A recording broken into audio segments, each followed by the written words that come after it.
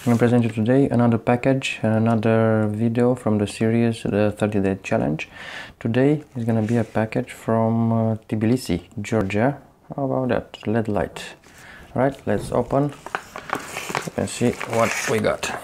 Alright, so we got an USB uh, light LED strip, I think it is which is quite neat comparing to those 12 volts LED strip. This is uh, straight away. You can be it can be plugged into the, um, the USB we're gonna use now a power bank old trusted 4000 milliamp power bank. It's turned on. Let's put it in. Here you go. The lights is gonna light down. No problem there. We're gonna do some measurements and as well from now on we're gonna make a blacklist from uh, aliexpress you know which supplier is good which one is worth it to buy from and and so on. I'm gonna test it all for you guys and when you're gonna buy if you're gonna decide you're gonna need this product you can buy it straight on spot on without trial and error. All right so let's measure the usb cable first. We got a ruler here. Okay so it's 90 90 so 90 centimeters the USB cable.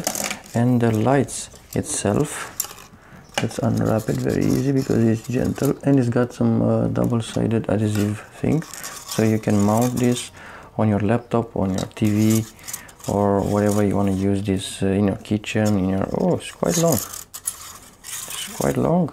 It keeps on going. Keeps on going friends you go. This is the wrapped product. We're gonna plug it one more time. There you go. Nice and sturdy.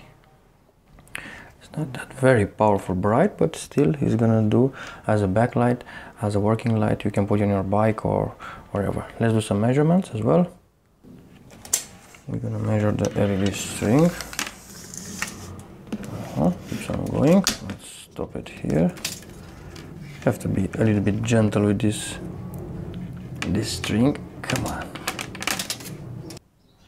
There you go. So it's a full 100 centimeters or one meter length of uh, LED wires. It can be cut to to size. As you can see here it can be cut in individual pieces which is one or two centimeter and adjust uh, your uh, your wires to be able to fit in the in the finger. So it's all right. You got plus this one here is gonna be the plus terminal. This is the minus. Also on the other side. And we got a resistor 101 and the chip itself. You can cut it. You can do whatever you want with it. As you can see you get a nice look. We're gonna mount our um, USB adapter charge adapter to see how much power is gonna consume from the USB power bank. Here you go friends. In semi-darkness the LED lights quite well all over the place. And is drawing uh, let me check. Is 4.0.54 amps. All right so it's drawing quite a lot of power. 4.9 volts and let me check yeah 0.59 58 fluctuating. So half an amp is quite is quite big for this one but you got one meter of, of power you know. So they're getting a little bit warm. But you can cut if you're gonna cut one of these at one length it's gonna consume less uh, less power. All right.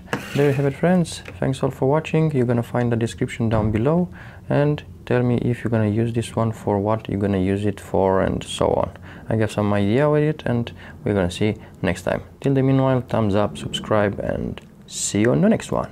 Yeah man Ooh, ooh, ooh. Nice one.